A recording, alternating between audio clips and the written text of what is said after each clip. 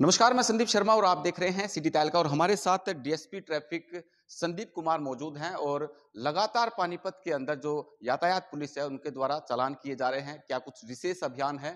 दो दिन पहले की बात करूँ तो 1500 के आसपास जो है, चालान किए गए और क्या कुछ पूरी ट्रैफ़िक के द्वारा जो है, इनको शहर की व्यवस्थाएँ सुधारने के लिए ट्रैफ़िक की व्यवस्थाएँ दुरुस्त करने के लिए क्या कुछ अधिकारियों को निर्देश दिए गए हैं? पुलिस कर्मियों को निर्देश दिए गए सर सिटी तहलका पर स्वागत है आपका सबसे पहले। जी थैंक यू। सर पंद्रह सौ के आसपास चलान है परसों किए गए। ऊपर से आदेश थे या क्या कुछ विशेष निर्देश दिए गए थे? और कल भी अच्छी तरीके से कुछ पखवाड़ा चलवाया गया सर उसके तहत भी चलान किए गए। देखिए बाईस नवंबर को पीएचक्यू से आदेश था पखवाड़ा था।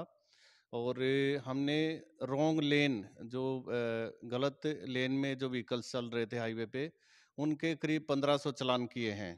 और जो रोंग साइड चल रहे थे उनके तो 22 तारीख को 1500 करीब काफ़ी हमने सख्ताई से पेश आए हैं और ये कंटिन्यू रहने वाला है।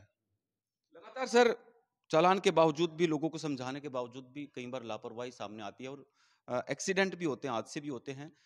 चालान किया ट्रक वाला है या वाहन चालक है थोड़ा देर दो किलोमीटर तीन किलोमीटर तक तो ठीक है उसके दिमाग में रहता है कि भी चालान किया है मैंने ये गलती की है लेकिन उसके बाद पाँच किलोमीटर पार करने के बाद फिर से वो अपनी उसी रफ्तार पे दौड़ने लगता है। देखिए ऐसा नहीं है अभी पूरे स्टेट में स्ट्रेटजी बना दी गई है और आप अभी रोड पे असर देखेंगे इसका। जी। एक करनाल के अंदर सर मैं कुछ दिन पहले गया था और वहाँ पर हर चौक चौराहों पर सीसीटीवी कैमरे लगे हैं और पानीपत की बजाय करनाल में मैंने खुद देखा कि सर लोग अपने आप रुकते हैं। लाल बत्तियाँ हैं या कहीं भी उनको लगता है कि भाई यहाँ पे सीसीटीवी कैमरे लगे हैं घर पे चलान उनके आ जाएगा अगर जो वो नियमों का उल्लंघन करेंगे। पानीपत भी पुलिस जो है इस तरह की कोई आ, कदम उठाने वाली है अलग अलग जगह पर सर। देखिए नेशनल हाईवे पे तीन जगह ऑटोमेटिक चलान का सिस्टम बना दिया गया है और अभी ड्राई रन चल रहा है। आप जल्दी उसको वर्किंग मोड में देखेंगे और उससे सारा व्यवस्था मेंटेन हो जाएगा।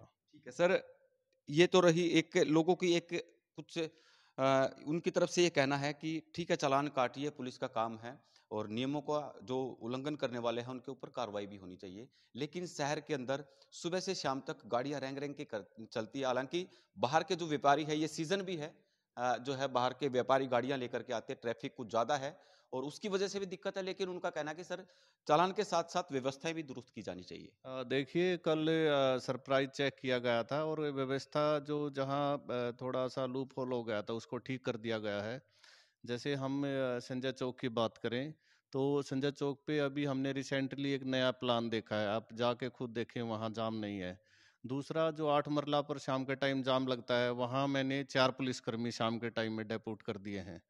तो ऐसे जो ब्लैक स्पॉट्स हैं जहाँ जाम लगने की संभावना ज़्यादा है वहाँ पुलिसकर्मियों की संख्या बढ़ा दी गई है प्लानिंग के तहत।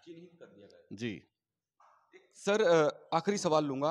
अब कोहरा है धुंध का समय जो है अब आने वाला है और उसको लेकर के जो समालखा की इसराना की बापोली की हाईवे की तमाम जगहों की बात करें रिफ्लेक्टर जो है कब से लगाने शुरू कर दिए जाएँगे? आ, देख लिए जो रिफ्लेक्टर हैं वो आ, लगाने स्टार्ट कर दिए हैं एन का सहयोग ले रहे हैं जो पुलिस इमदादी जो संस्थाएँ हैं उनसे हम सहयोग ले रहे हैं और हम पुलिस के एंड से भी जो चमकने वाली टेप जगह जगह लगाई जा रही हैं। लोगों से भी कुछ अपील करना चाहेंगे देखिए अभी कोरे का समय स्टार्ट होने वाला है स्पीड पर नियंत्रण रखें और ध्यान से चलें अपना अपना ध्यान रखें जी।